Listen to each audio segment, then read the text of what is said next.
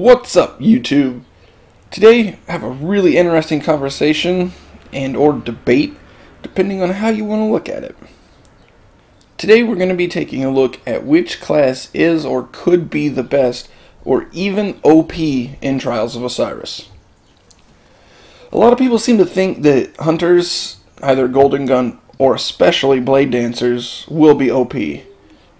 Others think warlocks, and very few people will even say titans. And I mean very, very few.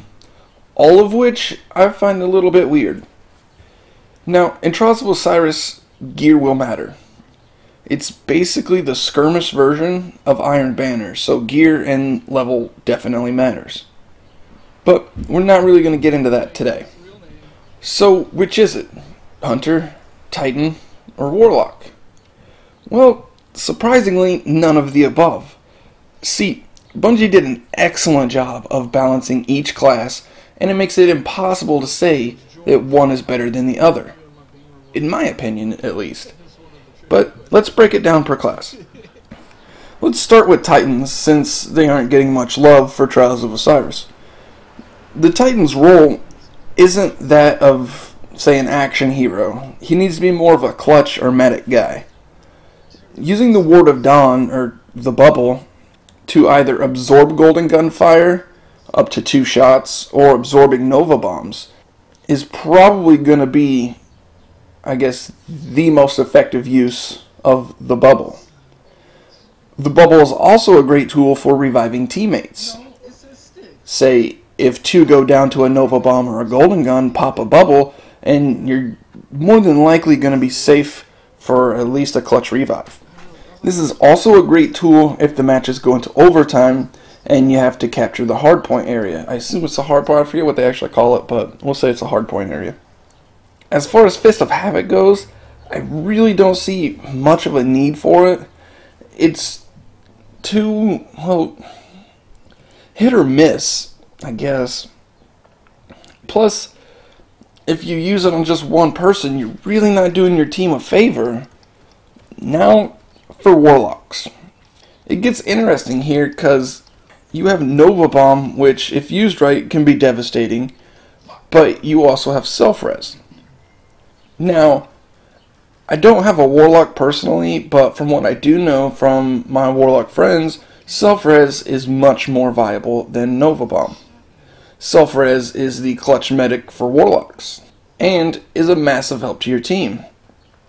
I believe there is a piece of Warlock gear that when you self res, it blinds nearby enemies, which is probably going to be a massive advantage for self resing Warlocks, especially in Trials of Osiris. So definitely keep an eye on that if you're going up against some Warlocks. Now, for the Hunters. Yes, the Hunters. Arguably the best class in my opinion. I'm a hunter, hunter master race, but putting my personal feelings aside for just a few minutes, we have two options here Blade Dancer and Golden Gun. This is honestly a really tough call because both are super deadly. I personally think Golden Gun is the better choice with a better chance to wipe the enemy team out than Blade Dancer. Now, we argued about this on the podcast last Sunday as to whether which class is, you know, OP or whatever, and everybody on the podcast kind of agreed, except for me, that Blade Dancer was going to be the OP class slash subclass. I don't agree with that, but we'll get into that here in a second. With Blade Dancer, they all have to be kind of close so you can strike fast. if they aren't, you risk dying as well, and that doesn't help your team. With Golden Gun, and especially if you're using the Symbiote helmet, which gives you four Golden Gun shots, you have four shots to hit three people. And if they're smart, they will likely kind of stay together. So if you're an experienced Golden Gunner, you should be able to hit all three pretty fast. Now, I know I literally just said that they stick together, and with Blade Dancer, they have to be together. But the problem that that I see with Blade Dancer is if they know you're coming, because it's a melee attack, I just don't trust it enough.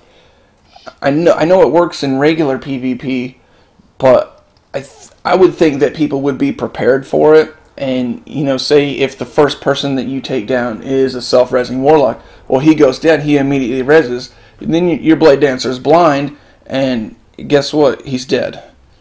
Basically, that's how I see it. So, but anyways, getting back on topic, I think that staying back versus having to get melee range is the much safer option of the two. If you get caught as a blade dancer, they basically own your soul, but if you get caught as a golden gun, there's a better chance for a revive. And that's what I think you should be thinking about first. Now, we could go into what the best team setup is, and this debate could literally go on forever. Two hunters and a warlock, one of each, two locks, three hunters. I mean, the possibilities are truly, well, they're not endless because there's only three and you can only have X amount of setups. But I couldn't figure the best team, honestly. Each class has its very specific role inside Trials of Osiris just remember that whatever you decide, make sure that you're also thinking about revives and how your actions will affect your team. I know on the podcast we talked about, um, we kind of touched on this. I'm not say we really talked about it because we didn't, but I think the general consensus for our group was a lock and two hunters and one blade dancer, one golden gun. Um, I think that's a, a pretty good setup. I'm not gonna lie but again, it really depends on your skills. If you're a shitty, you know, blade dancer, I wouldn't suggest being a blade dancer because it's really going to depend on how well you can use that super to your advantage. So I really take those things into consideration and just make sure that you use the best class to you know to your advantage. And if you're a Fist of Havoc Warlock, that's what you know, that's what you're good at.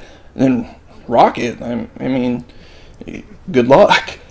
But in reality, it's it's going to be more about gun skill than super abilities. I mean, supers won't likely be charged until mid to late rounds anyway.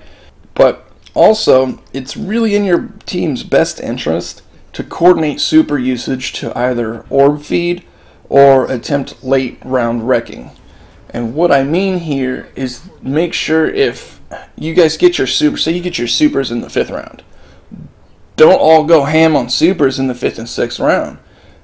I would suggest using, say, player A uses his super in the fifth round, player B uses his super in the sixth round, and player C uses theirs in the sixth or seventh round. However, I forget honestly how many rounds there are. There might only be five. I, I forget, but um, but basically use your supers in the late rounds because if you use just one super, then you can assume that I don't want to say that you could assume because you really can't, but I I just really think using one super per round would almost guarantee you each round versus two people using a super or even three people using a super because there's only three players. So uh, definitely coordinate that with your team.